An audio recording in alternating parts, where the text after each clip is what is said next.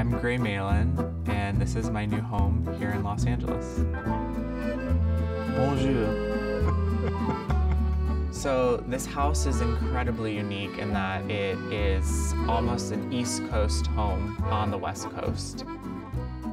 When I think about a dream home, I think about a place where you walk in and you just go.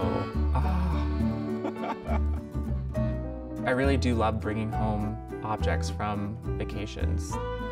These llamas are from a market in La Paz, Bolivia. These porcupine quills are from the wildlife reserve that we stayed on in Africa. Home is the place I can completely disrobe and become just myself and laugh and talk to my dog in weird voices. It's my favorite place.